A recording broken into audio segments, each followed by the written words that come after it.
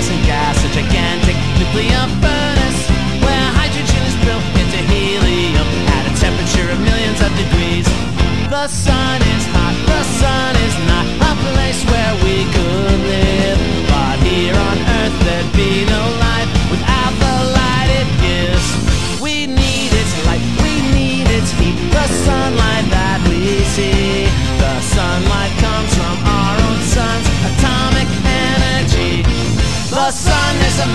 of incandescent gas, a gigantic nuclear furnace where hydrogen is built into helium at a temperature of millions of degrees.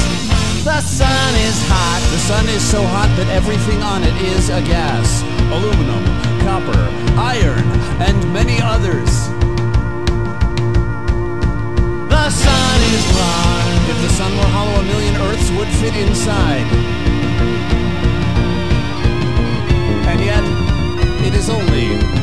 Middle-sized star.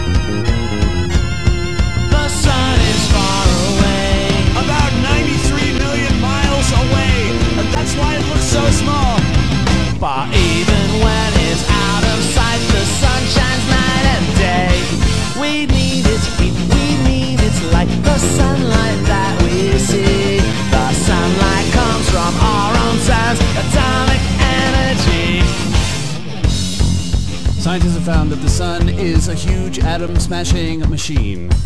The heat and light of the sun are caused by the nuclear reactions between hydrogen, nitrogen, carbon, and helium. The sun is a mass of incandescent gas, a gigantic nuclear furnace where hydrogen is built into helium at a temperature of millions of degrees.